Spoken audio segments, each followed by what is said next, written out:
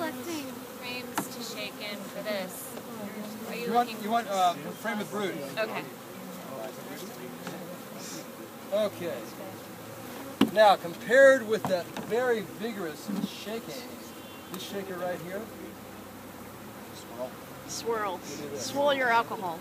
And what it is, is because of the taper and the screen right here, there's friction at the bottom of the screen, and the bees at the top, because of the taper, move faster, and they tumble. So when I tested this, I, I, have, I made a mechanical shaker that shakes 12 bees at a time, and to play with it, I put a little piece of paper here and I watch the action of the paper. Hmm. And this action just tumbles the bees over there.